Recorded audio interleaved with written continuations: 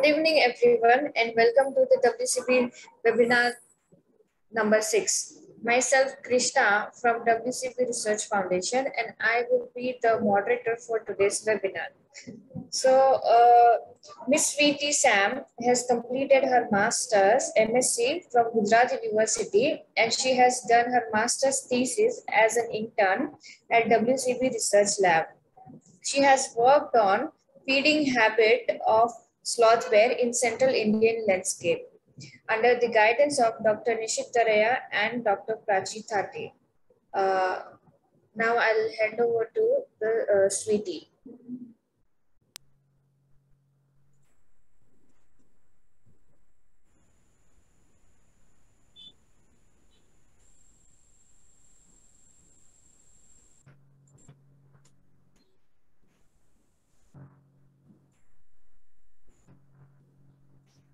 Um, Sweety, you ready? Yeah. yes, yes, I'm, I'm ready.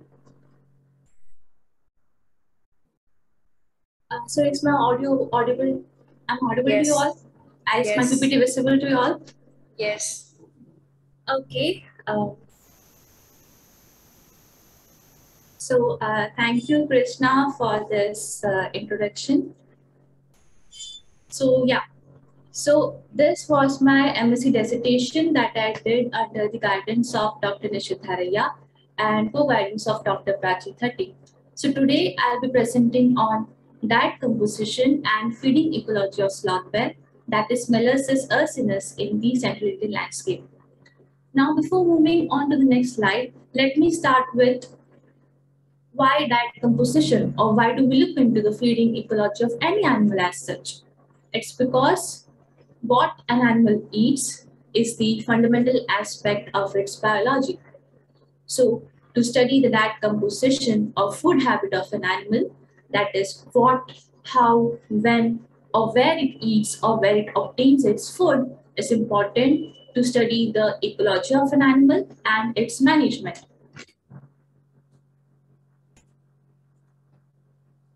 Bears of the world. The bear family Ursidae, it contains a total of eight bear species in the world, which are distributed all over the world except in Australia and Africa.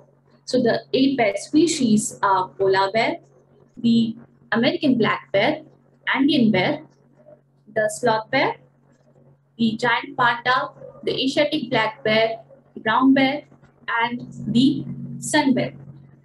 Now, among these eight bear species, only polar bear is aquatic, whereas all the other bear species, they inhabit the forest. Now, out of this eight bear species, sun bear is the smallest bear species, which weighs about 27 to 100 kgs, whereas polar bear is the largest bear species, which is about 150 to 800 kgs. Now, Ursidae, it comes under the order Carnivora. But except the largely carnivorous polar bear, all the other bear species are omnivores. That is, they feed on uh, plant materials, insects, fishes, and mammals. Bears of India. India possesses four of the eight bear species in the world. That is, it has Asiatic black bear, sloth bear, brown bear, and the sun bear. Now we will be concentrating more on the sloth bears. That is what my topic is about. So sloth bear, they are tropical and subtropical in distribution and endemic to the Indian subcontinent. That is, they are found in India, Nepal, and Sri Lanka. Now sloth bear. So the taxonomic name of sloth bear is Melursus ursinus. Now first, the sloth bear was named as Bradypus ursinus by a European zoologist named George Shaw in 1791. Bradypus ursinus means bear-like, sloth-like bear. Right. So when he first saw sloth bear, he related it to the tree sloth because few of the features were related to the tree sloth. But in 1800s, it, uh, it was then reclassified as a bear and now which is known as the Melursus ursinus, that is sloth bear. Now, they are listed in Appendix 1 of CITES and are protected under the Schedule 1 of Wildlife Protection Act of 1972. it is also considered vulnerable under the red list category.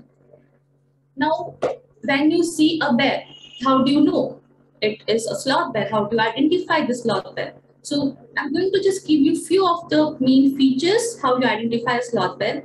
So sloth bear, it usually has a long black shaggy hair. As you can see in this picture, along with a U or V marking on its chest. You can also see that in the picture.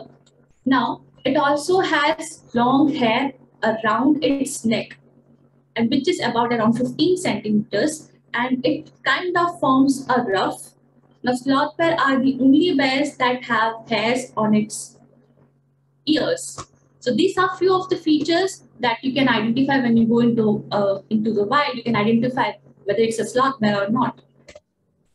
Now moving on, food and feeding of sloth bear. So I'll be telling you few features, how these features help the sloth bear for the easy ingestion process. So first is this. The sloth bear, it has a whitish gray muzzle this muzzle is the only part of the body where it has short hairs whereas all the other parts, it has long hair on its body. And here, as you can see, it has extremely mobile lips. You can see that it's spouting right now, but yeah, it's extremely mobile lips and it has a very long tongue. Along with that, as you can see in this picture here, the upper middle two incisors are missing in sloth bear. Now, they also have a hollow bony palate and can voluntarily close their nostrils. Now, why this feature helps the sloth bear to feed? So, when a sloth bear comes across a ant mound or ant mound or a termite mound, what it does is it uses its sharp claws to break the nest, blows into it to remove the dust particles from it, and then extends it, its tongue into it, and then sucks. So while sucking, they get or they feed on the ants and termites. So because of the missing of the upper middle two incisors, the extremely mobile lips, and the hollow bony palate, the ingestion process or the feeding is very easy. Now, I have also said that they can voluntarily close their nostrils. So, how does the closing of the nostrils, voluntarily close their nostrils, help for feeding? Why is it necessary for them? So, as you know, and termites वैसे आराम से नहीं बैठेंगे कि मुझे खाने आ रहा है तो चलो मैं भी चले जाता हूँ मुँह के अंदर right no so there may be some aggressive ants and termites so they may go into its uh, into the bear's nostrils and irritate them or bite the sloth bear. So for this, uh, the sloth bear can voluntarily close their nostrils so it won't go inside its nose. So this is the food and feeding of sloth bear. Now, as you can see here, the sloth bears, they are usually solitary mammal, except while raising the young ones. So as you can see here, there are two baby bears hitching a ride on a mama bear. So Sloth bear are the only bear which show parental care by carrying their young ones on their back. So why does it do that? Why do sloth bears carry their young one on their back? Because traveling this way protects the cubs from predators as the mother does not have to worry about whether the cubs are being able to keep up with her. So this is a very good thing and bears from all eight bears, only sloth bear is the one which shows parental care. Now, moving on to the goal and objectives of my study. My goal was to understand the food and feeding ecology of sloth bear in central Indian landscape during different climatic conditions. And the objectives were to document diet composition and variation of sloth bear in hot and cold season, to document the percent of plant and animal matter, in the diet of sloth bear through scat analysis. And the last was to document the food preference of sloth bear in the study area. So what the bear preferred in the study area that is in central India, what it preferred to eat. Now first, uh, about 85% of the global sloth bear population is occurring in India alone. And as you can see in this picture, most of the sloth bear population is concentrated in central India hence my study site, Central India. Now, my work, it originated as a part of a project by NCBS Bangalore done by my co-guide Dr. Prachi Thatte on human footprints differentially impacts the genetic connectivity of four wide-ranging mammals in a fragmented area.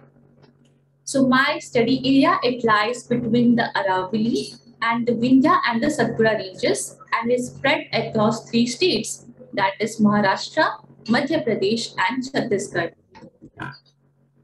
Now, the present study has been carried out in 12, 12 different tiger reserves of central India.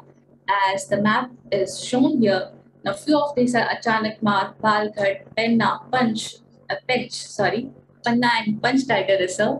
So this uh, is the tabular form with flat, long area and state-wise distribution of the 12 tiger reserves that I have shown in the previous slide.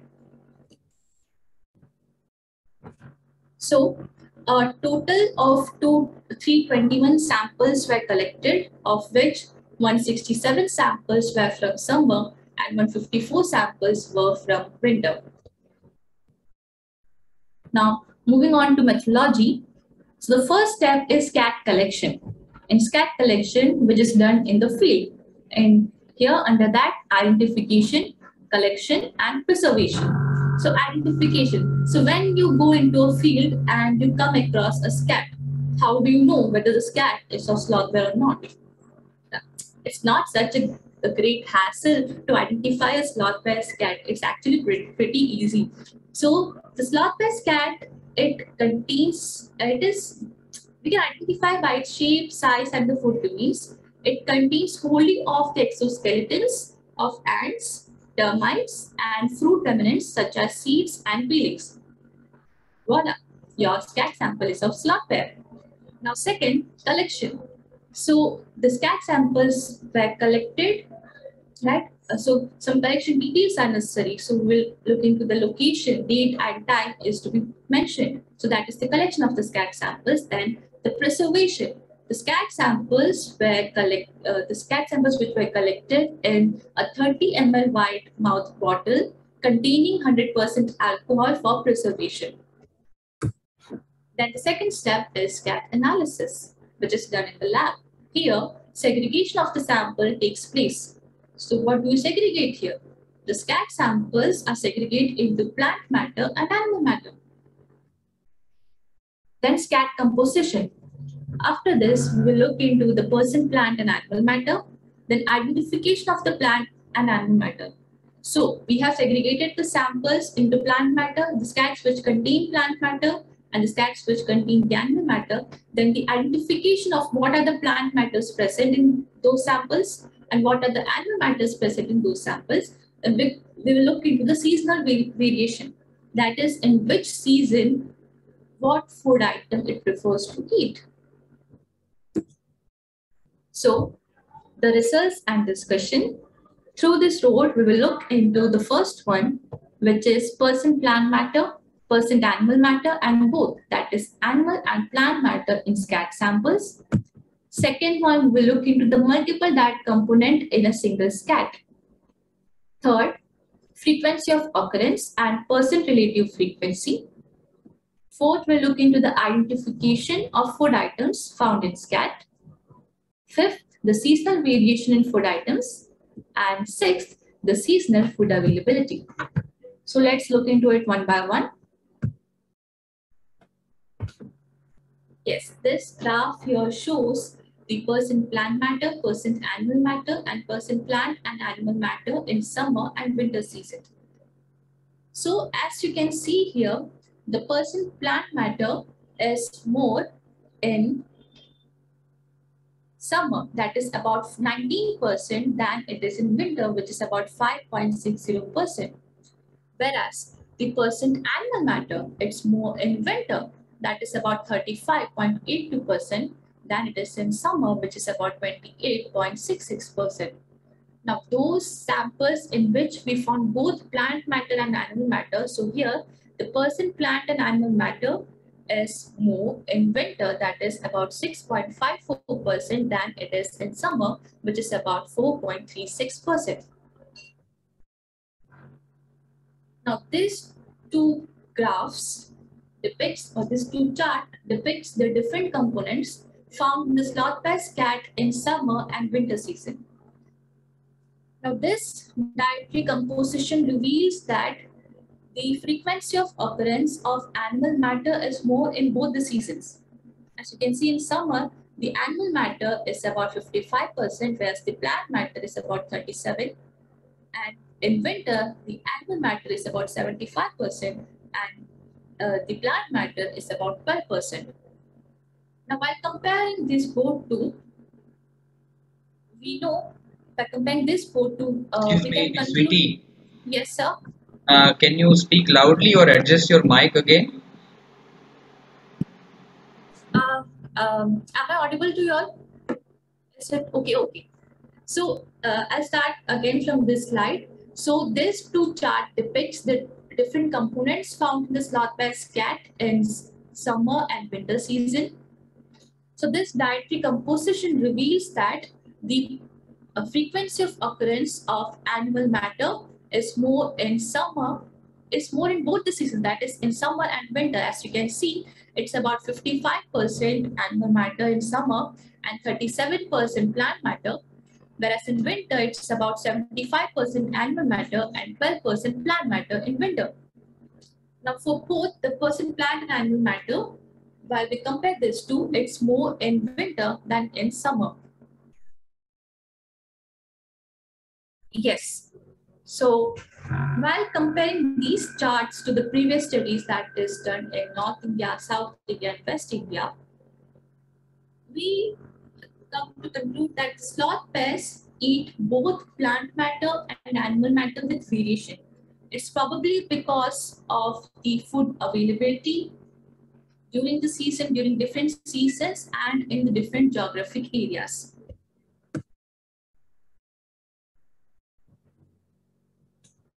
Yes. So this uh, graph here shows the multiple diet component in a single scat sample. So those scat samples in which only one diet component were present or the occurrence of only one diet component is there is about 67.174%. Whereas the scat samples where the occurrence of two diet component is present is about 29.906% whereas the scat samples in which or where the occurrence of three diet components are present is about 5.919%. So from this, you can see sloth bears usually generally just eat one diet uh, in a day, means it just eats one of the food items. But rarely, कभी मन हो गया चलो आज भी हम कहीं चले जाते feast ही कर लेते हैं आज so they use they eat three kind of food items. So that which is about 5.919%. That is the occurrence of three diet component. Yeah, this is the tabular form that shows the frequency of occurrence and percent relative frequency of the food items in summer and winter season. Now the highlighted one shown here is the animal matter that is ants, honeybee, termites, bugs and beetles.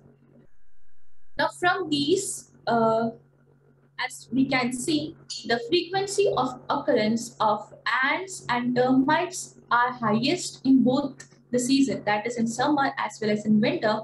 The frequency of occurrence of ants and termites is more. And while we compare between these two, that is in summer and winter, the frequency of occurrence of animal matter is more in winter than in summer. मतलब winter में वो लोग animal matter ज्यादा खाते हैं compare to in summer now क्यों खाते हैं why they eat animal matter more I am going to discuss this in the next slides so this graph here depicts the frequency of occurrence and percent relative frequency of different food items in the sloth bear's cat, and which is in summer.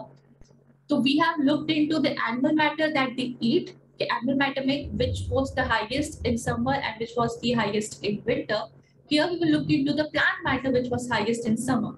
So in summer, uh, ficus and Aegle marmelos were the highest consumed. Whereas in winter, the Ziziphus species and the Lantana camara were consumed the highest in winter season. Now this is only about the plant matter which was consumed. Now this is the tabular form representing the food preference by sloth bear in the study area in summer and winter season. So in summer, the sloth bear preferred to eat marmelos, ants, Cassia fistula, Cordia dichotoma, Diospyros melanoxylon, Ficus, Vivax or honeybee, Madhuca indica, Syzygium cumini, termites and Ziziphus species, whereas in winter they prefer to eat Aegle marmelos, ants, bugs and beetles, Capparis apiaria, Cassia fistula, Vivax or honeybee, Lantana camara, termites, tubers, and Ziziphus species. Now, as you can see here, the ants, uh, ants, bugs, and beetles, that is the animal matter, were consumed more in winter season. And I also shown you in the previous slides that in winter, the consumption of animal matter were more or highest than compared to summer season. So why is that? Why do sloth bears consume animal matter more in winter? Why not in summer? So uh, for that, let me first tell you a bit about the reproductive biology of sloth bear. So the mating system of bears varies from species to species, obviously. But what about sloth bear? The sloth bear, the mating usually occurs during the summer or spring season, but the development of the fertilized egg does not occur until fall.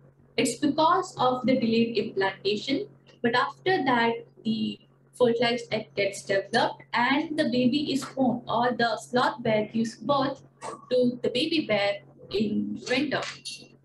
So that means it mates during summer that is between May and July. Because of the delayed implantation, it give, gives birth in winter season that is between November to January and there is about five to seven months of gestation period. So you have to underline and in, in inverted mark and double line underline the winter season. They give birth to their young ones in winter season.